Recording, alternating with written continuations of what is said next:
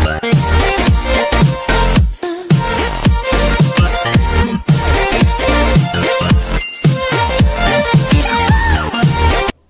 what's up, guys? How are you? Hope you are doing good. So myself is Harsha N Kumar. So I was doing biomolecules chapter.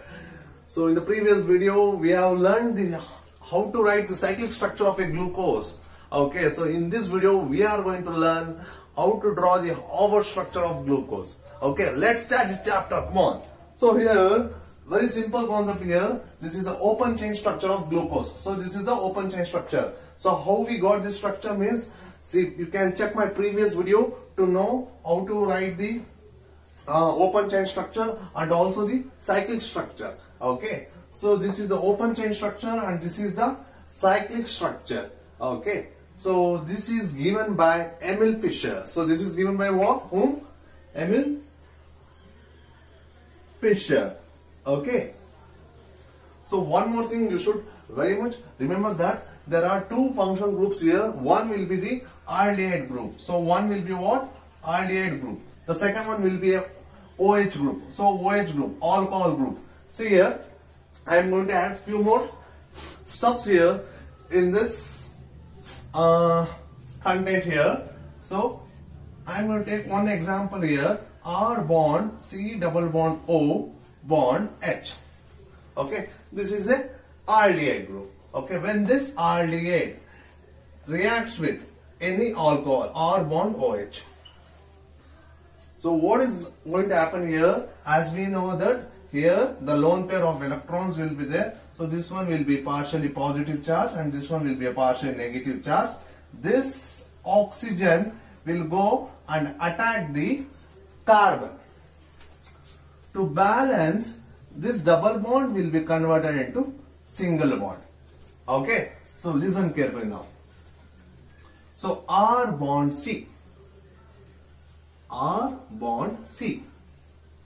So single bond oxygen. So double bond will be converted into what? Single bond. So single bond oxygen. So this oxygen is accepting. So that's why I have denoted oxygen negative charge. This is hydrogen will remain same here. Okay. So this oxygen and bond R bond OH. So R bond O bond H. R bond O bond H. So oxygen valency will be 3. So here the positive charge will come. Okay. So now children listen carefully. Listen carefully. To maintain the neutrality this hydrogen. So this hydrogen it is going to forms a bond between oxygen. Which hydrogen? This hydrogen. So this hydrogen I have taken here. Okay. Here it is going to form a bond. Clear? Can I write like can I write this structure as like this? R bond C bond OH bond H bond OR. Same structure. Okay, instead of uh, O bond or I have written like this. Same structure. This formation, okay, this compound is called as hemiacetal. Hemiacetal. Always remember, hemiacetal are having a reducing character. It can reduce other substance. Okay, very simple, very simple. Nothing is there. Okay, due to formation of hemiacetal, because of this, this cyclic ring has been formed. See here, aldehyde group is there and alcohol group is there. It has formed hemiacetal. Simple here. Here aldehyde group is there. So here there are five OH groups are there. So alcohol group is there. So that is the reason it is going to form hemiacetal formation. Okay. So just remember this one. Hemiacetal general molecular formula R bond C bond H bond OH bond OR. So why I am going to explain this one you will come to know later. Okay. So we need to check whether hemiacetal group is there or not. Okay. So let me write the hemiacetal general molecular formula here. So R bond C bond OH bond H bond OR. So I have taken R dash here. So let me put R dash. R dash. Not a problem. Problem. Okay. So this is a Amy acetal. So this concept you are going to learn in the aldehyde ketones and carboxylic acid chapter. Okay. Clear? Because of aldehyde and because of alcohol, acetal is going to form. Because of aldehyde and because of alcohol, acetal is has been formed. How? I am going to explain it now. In my previous video, I have explained very clearly, very clearly that why the fifth carbon OH group is activated because it is exam, I mean uh, six carbon atoms ring structure is going to form. It is most stable compared to four or compared to five or compared to three compared to two. Clear? Very simple here. Okay. 2 is not there, sorry. Okay. So, now this structure, cyclic structure is given by Emil Fischer. Okay. So, similarly, one more structure is there. It is very, very important. So, usually the students will biat it. That is not the good scenario. Okay. So, very simple trick. Already in my previous videos, I just taught you a simple code word uh, code word that is the formula will be 1011 okay to write the both structures so I am going to write the Haworth structure. What is that? Haworth structure. So just count here. So 1 2 3 4 5 6 so 6 member ring. So always we will remember 6 member ring is cyclohexane benzene. Okay one two three four five six. Correct? Six member ring. Okay i am going to write the six member ring let me write like this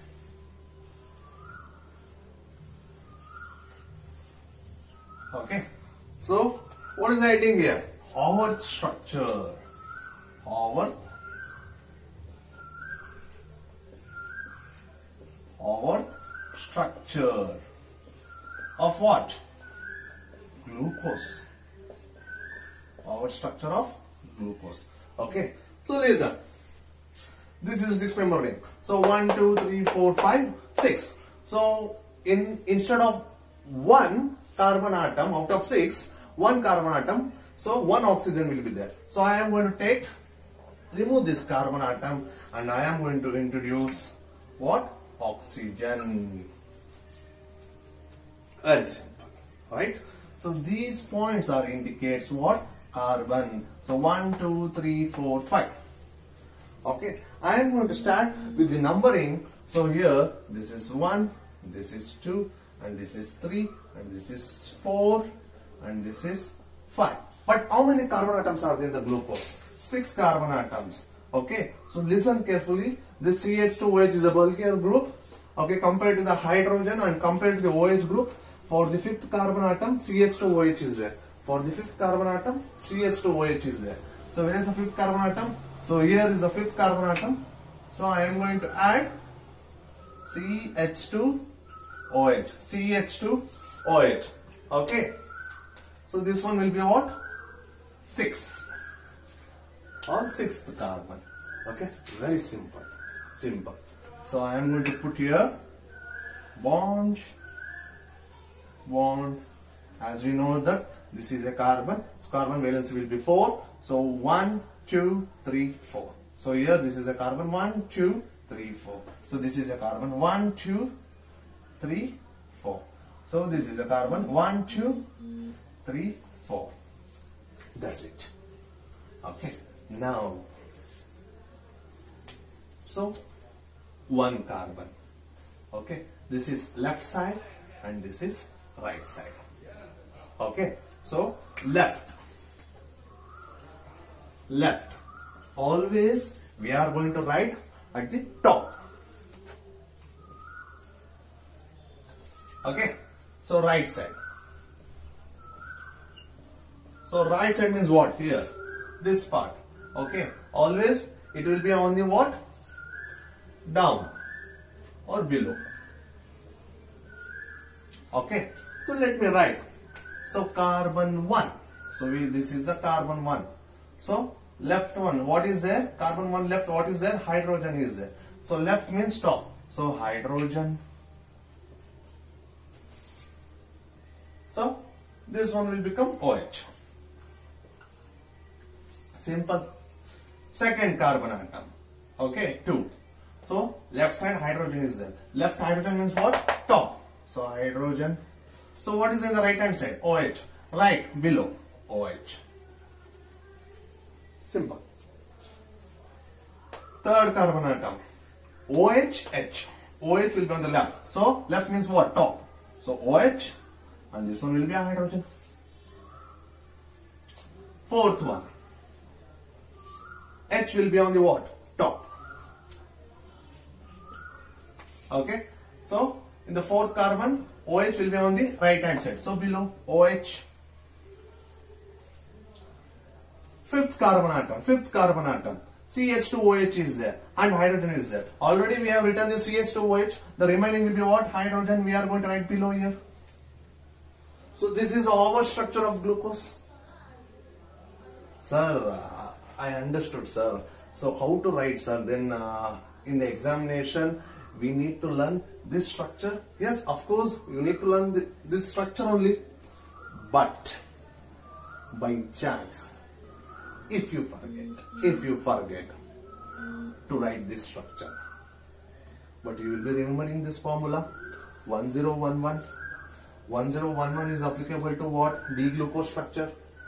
1011 is also applicable to the what? Cyclic structure which is given by Emil Fischer. What is this 1011? Check my previous videos.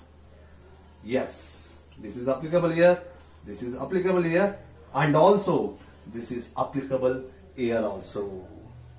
Okay, how to write this one? So listen carefully, very very simple trick. Okay, so this is the first part. You can write like this, what I have told you. Or if you want to write the structure. Okay? So as soon as possible means fatafat you can write it means very simple thing here. Okay? So how to write here? See here.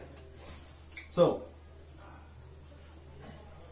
yeah yeah yeah yeah yes okay? Same structure. Okay? Now you don't see this one. Just concentrate here. Okay? I am going to apply this formula. So always remember remember remember here. Oxygen left. First you put bonds. So oxygen left. CH2OH above will be there. Put hydrogen. That's it. Now how this formula is going to work in the Haworth structure of glucose what is the formula? 1011 1011 so start from left here. I mean start from fourth carbon. Okay. If you feel this part by comparing this one if you feel difficult means directly you can write the Haworth structure by using this formula. So how to write? So i have written cyclic structure oxygen next ch2oh okay. So now apply this formula. 1011 one one indicates what? Hydrogen o uh, 0 indicates what? Oh group. Okay so start from the left. 1011 1 0 1 1 that's it. 1 0 1 1 don't see the structure now. Okay so if H is there means OH if OH is there means H. If H is there means OH if H is there means OH that's it this is the first method I'll just check the cyclic structure of glucose and I drew the what Haworth structure of glucose the second method, I wrote the Haworth structure of glucose by knowing this formula. So this one will be very very easy. Okay. So now we will compare. The structure will show similar knot. O CH2OH O CH2OH This is correct. HOH HOH correct. OHH OHH correct. HOH HOH correct. HOH That's it. Very simple. So 1011 can apply to the to write the straight chain structure and also the cyclic structure which is given by Emil Fischer and it is also be applicable to the what Haworth structure of glucose. So this is our structure of glucose. Same, same only. Okay. Clear? Okay. Very simple trick. Very simple trick. Okay. Fine. Fine. Fine. Now, focus on the anomeric carbon. Okay. Anomeric carbon. So, let me erase this one. One is required. Uh, this one is more than sufficient. Okay.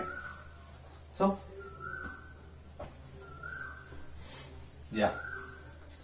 Just focus on the carbon one. Okay. This carbon I am going to write here. Correct? So, this carbon is bonded to hydrogen. Okay? This carbon, the same carbon is bonded to OH. Correct? So, this is again straight chain. I am going to call this as a R. Okay? Alkyl group. So, I mean R I am going to consider it. Okay. So, one, two, three. The fourth one. Yes, it is bonded to oxygen. Oxygen is bonded to what? Again cyclic structure. So, I am going to put R. So, let me take consider as a OR dash. O. It is bonded to what? R dash. Now concentrate here. C.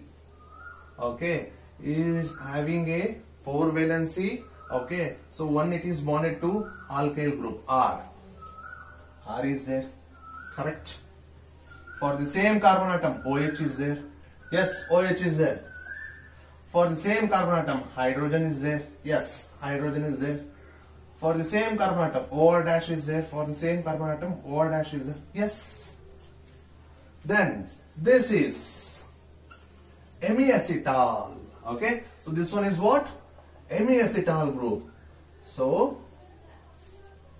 this carbon one contains what? Hemiacetal. If any substance or a molecule which contains hemiacetal group, then it acts as a reducing agent.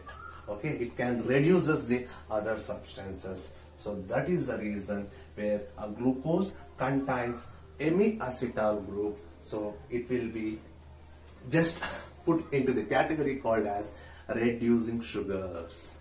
Okay, you may get the question why glucose is considered as a reducing sugar. Yes, because a glucose uh, contains hemiacetal group.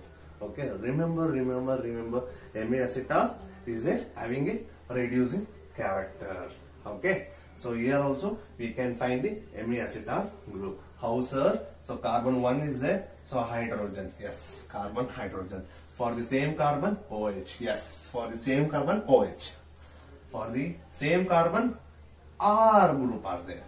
So for the same carbon, R group are there. For the same carbon, O, R group are there. So O, R group or R dash group are there. So here also amiacetal is there. Clear?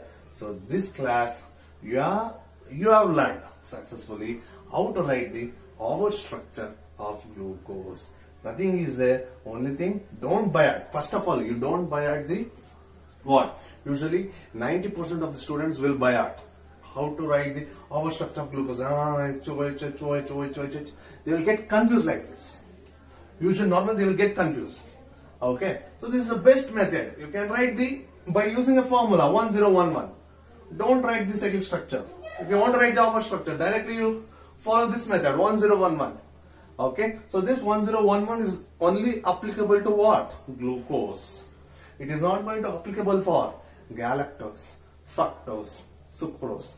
For every for every carbohydrates there will be a uh, formula. I am going to teach in my coming videos. Okay. So hope you have understood a complete picture how to write the Haworth structure of glucose and what is the function of hemiacetal. Okay, hemiacetal is means it is can reduce other substances. So that's why this glucose will come under as a reducing sugar. Okay, fine. So just meet you in the next video. You will learn each and every steps. Okay, fine. Thank you. Take care.